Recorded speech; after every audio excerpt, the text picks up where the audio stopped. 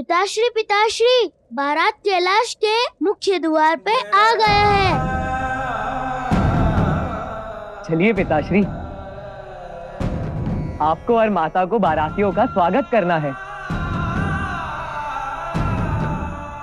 वैसे माता कहाँ है?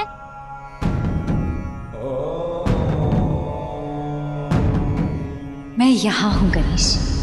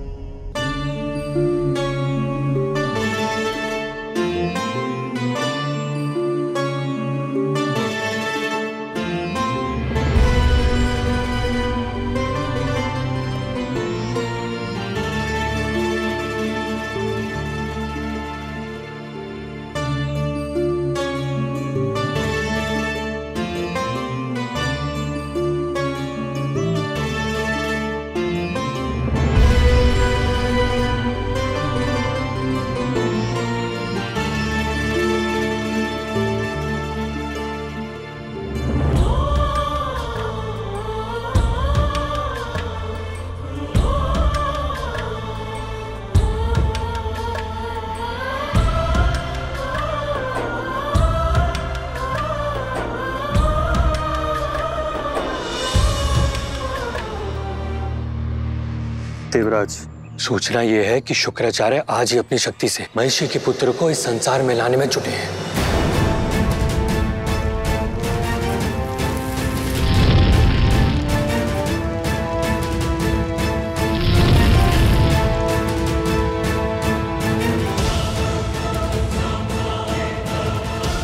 क्षमा कीजिए देवराज, किंतु इसमें सोचने वाली बात क्या है? आप इसी क्षण अपने वज्र से महिषासुर के अंश का अंत कर दीजिए। नहीं। इतना सरल नहीं है। और अब तो वो शुक्राचार्य भी, उस महिषी और उसकी अजन्मी संतान की रक्षा कर रहे होंगे। और शुक्राचार्य के पास मेरे वज्र की काट, मुझे अपने वज्र को और भी शक्तिशाली बनाना होगा। वो कैसे देवराज? मुझे अपने वज्र में शिवत्व की शक्ति को मिलाना होगा। शिवत्व की शक्ति को मिलाना होगा। शिवत्व की शक्ति को मिलाना होगा। ताकि ना शुक्राचार्य और ना ही महिषी उसे काट पाए और फिर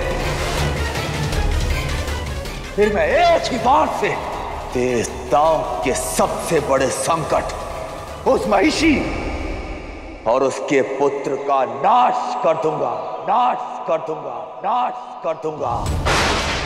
चलो मेरे साथ।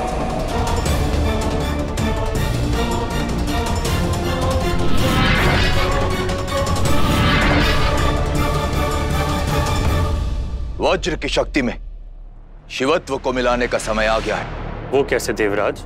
कैलाश के कण कण में शिव है। शिवत्व है।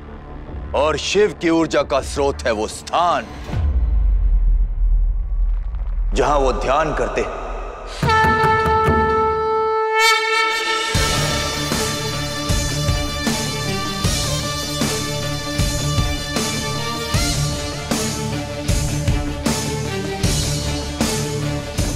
जब तक मैं महिषासुर के अंश का अंत करके वापस ना लौटू, तुम यहाँ इंद्र बनकर रहो।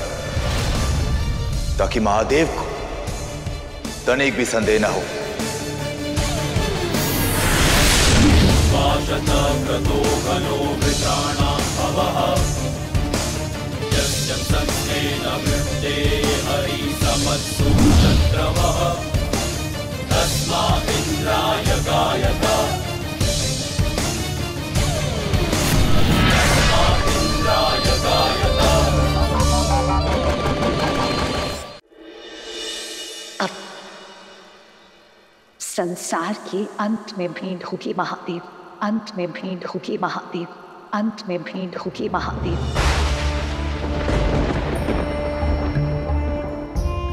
तब तक तब तक हम दूर रहकर अपना हर कर्तव्य निभाएँगे। परंतु मैं आपके बिना कुछ मत कहिए।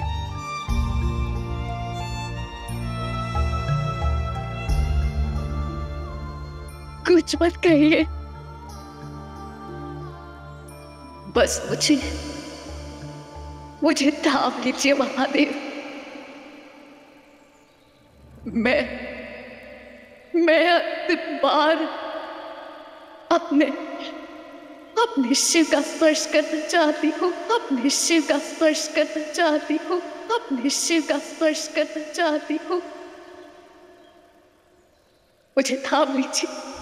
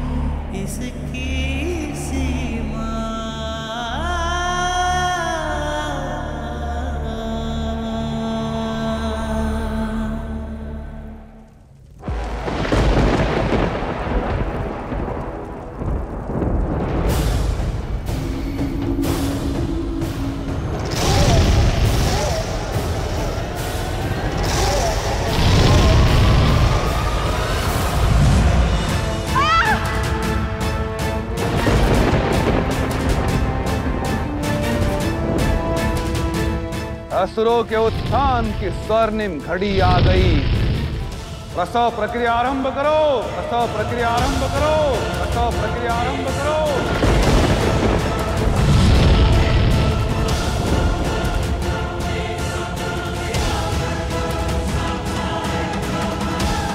महादेव, आपके पुत्री की विवाह के पूर्व ही ऐसा सुर का अंश जन्म भी लेगा, शीघ्र शीघ्र बड़ा भी होगा, और शक्तिशाली भी।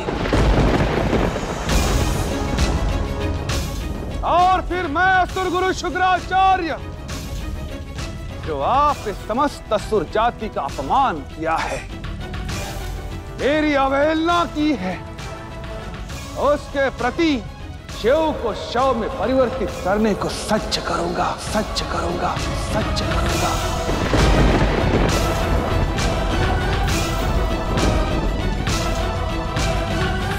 और उसे समस्त देवताओं का अंत करने सच करूँगा सच करूँगा सच करूँगा।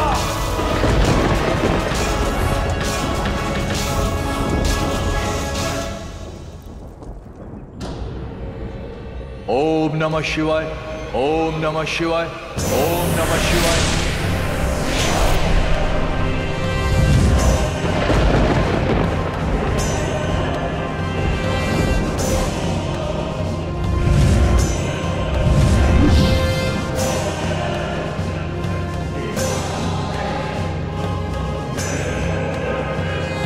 अब मेरे वज्र में शिवतु की शक्ति मिल गई है। वो शिवतु, जिसकी काट शुक्राचार्य के पास भी नहीं है। अब, अपने इस वज्र से महिषासुर की अजन्मी संतान को मारकर संसार से असुरों का अस्तित्व ही मिटा दूँगा, अस्तित्व ही मिटा दूँगा, अस्तित्व ही मिटा दूँगा।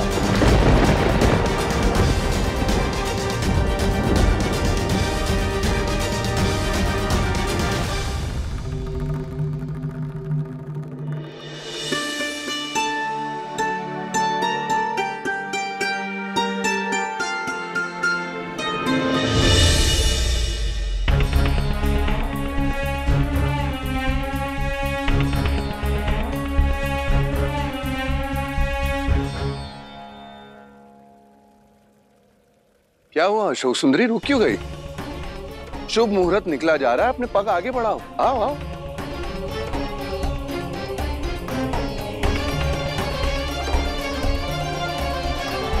क्या हुआ अशोक सुंदरी किसे खोज रही हैं आप? माँ और पिताश्री को। कहीं दिखाई नहीं दे रहे हैं।